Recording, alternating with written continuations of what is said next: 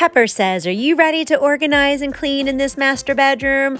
I know mommy is, but I'm going to take a little snooze while she's doing it.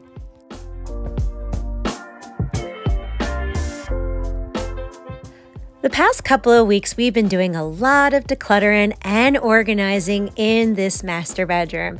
And we're going to continue to clean and organize over here where I keep a lot of my personal things. I've decluttered this space multiple times and it stays neater for longer, but the messes always seem to return. Hello, everybody. So for the month of February, we have been doing this like master bedroom reset theme and we've been decluttering it and now we're going to reorganize it because now that I understand that I am a butterfly and that's what works best with my ADHD and organizing aesthetic, we're going to be rearranging some of the hot spots in my master bedroom. Now, I wanted to take this moment and say that this video is dedicated to declutter with Jennifer. She is always sending these beautiful messages in the comment section, and I'm just so grateful for your super thanks donation. And I just want to say thank you so much for being such a good friend to me during this healing journey because honestly, that's what I'm doing. I am recovering in my hoarding disorder. And I am grateful to all of you who give me this loving support because it truly just fuels my heart to keep going. And it also fuels my creative side to keep trying something new.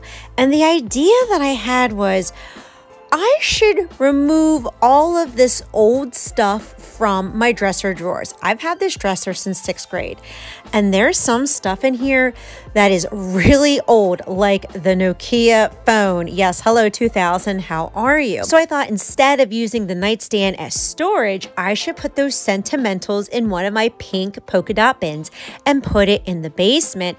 And then I can use these organizers inside of it for things that I use every day. Now I knew this was going to be a trip down memory lane. So a lot of this stuff I am going to keep. But hey, here is another Amazon gift card. But luckily, we already used it. Now, in this bedroom so far, I did find a $50 Amazon gift card that's fully charged, and then two Starbucks gift cards that had $10 each. Now, this wallet is from college, so I didn't expect to find too much money in it, but I did find some quarters in the pocket. But overall, when we were decluttering, I had found over $300 in cash that I had kind of squirreled away, and I took it to the bank to make it a safe deposit. Now, there is a lot of very old sentimental stuff in here, and I never stored it in the basement because the basement used to get water in it, and I was so scared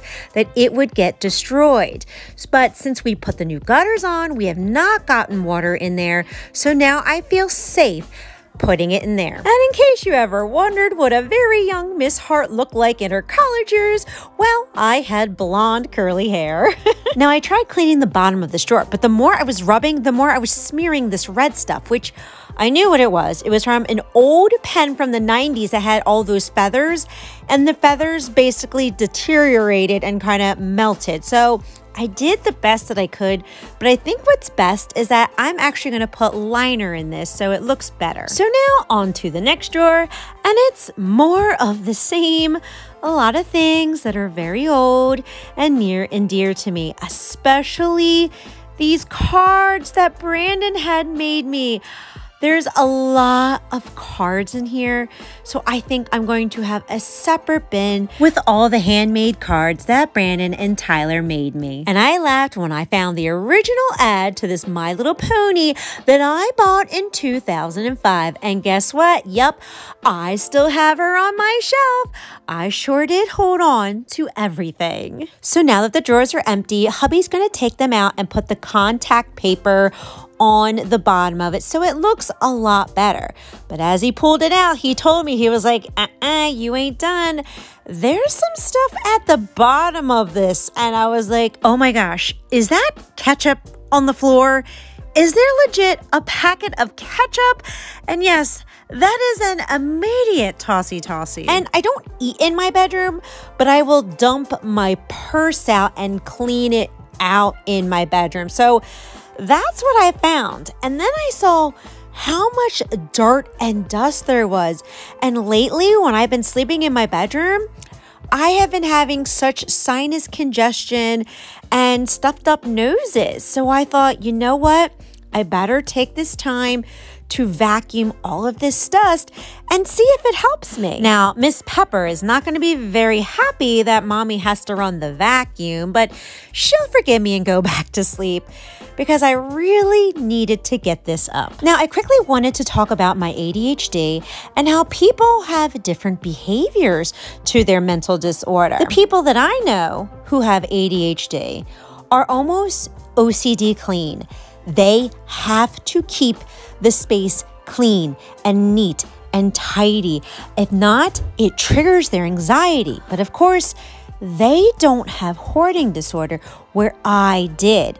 So I'm trying to flip that around because they also said that that helped them with their extra energy, which does kind of create an anxiety alongside of it. And I know that a lot of people stress clean anyway. So as I try to change my hoarding habits, you can never erase a habit. You can replace it with one that is healthier. So I'm trying to use all that extra ADHD energy to stress clean myself and organize and exercise and journal as just another form of releasing that nervous energy so that I feel really good about myself because now the dresser looks a lot better. And all the dust and all the debris that was in this section is now gone and we can start to organize. Now, these are all the organizers that I already have. A majority of them are from Dollar Tree and some of them are also from Target. Now, this is the first time I have ever, ever done this. So as I was putting the trays in the spot, I really had to reflect on my behaviors and what did I do in this space in my master bedroom? What do I habitually do at night when I'm unwinding and even in the morning time? Well, I read a lot, but when I read a lot, I get a lot of inspiration to write ideas down. So it's good to have this empty notebook ready on hand that's why you saw so many scraps of paper because I had to hurry up and write it before I forgot the idea. And of course, that means I need to have pens nearby too. And of course, in January, we had some sicknesses, and I've also have been having a lot of nasal congestion at night. So I'm going to be putting these medicine type things and also essential oils that I use a lot, and also my scrunchies because sometimes in the middle of the night I get hot and I gotta put my hair up in a ponytail to try and cool myself off. And I also needed a home for my earbuds, wireless and wire, because I will put them on every time I go walking in spring, summer, and fall. And in my bedroom is where I change into my workout clothes. And lastly are a lot of my prayer cards because I do have anxiety and sometimes right before bed, I like to read them. Now that that's done, let's go to the bottom drawer. And I thought, oh, I should put my books in here because you see them all over the floor all of the time. And since this is the area that I seem to clean out my purse, I always put the spare change in here. You have always seen this on the floor for years. Next is my essential oil organizer that my friend had gotten me because I do love my oils and I also have a diffuser in the bedroom and I'd like to keep them all in one spot. So this is where it's gonna go. Next, this organizer fits perfectly in here but I only have one of them. And Target is on my no spend for February. Now, I do have this blue one and it will fit in this space, and I really, really wanted it to match. So maybe if it still bothers me in March, I'll go to Target and buy the matching white one. So I'm going to put my charger specific to my earbuds and my Fitbit so I know exactly where it's at, and also lotions because it's February and my skin has been getting extra dry. Now for the top of it, it won't be a catch-all anymore because I have the drawers down below. And with one of my Christmas gift cards, I bought this bracelet stand because currently I have been making these beaded bracelets again. I change them out every day.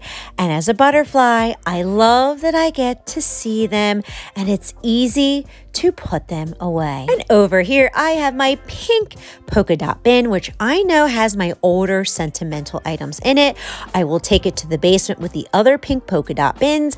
And right above it, I have this little tub that I kept the kids' cards in, and that'll go into storage as well. And to my pleasant surprise, I have a lot of tossy tossies we have definitely done the work because all of this is going. Now, this is all going to get recycled as best as it can. And now, this once messy hotspot looks so much better. And I do love how this came out, especially the bracelets. And the drawers look great too because this is something I can easily do. I can easily open the drawer and put it away quickly.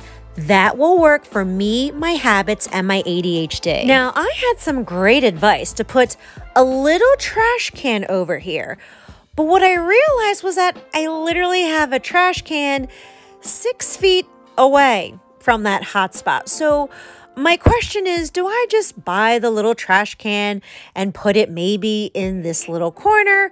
Or do I try to adjust the habit and just walk the five steps to throw it away. I would love to hear in the comment section below what you think so that we can make this space more functional.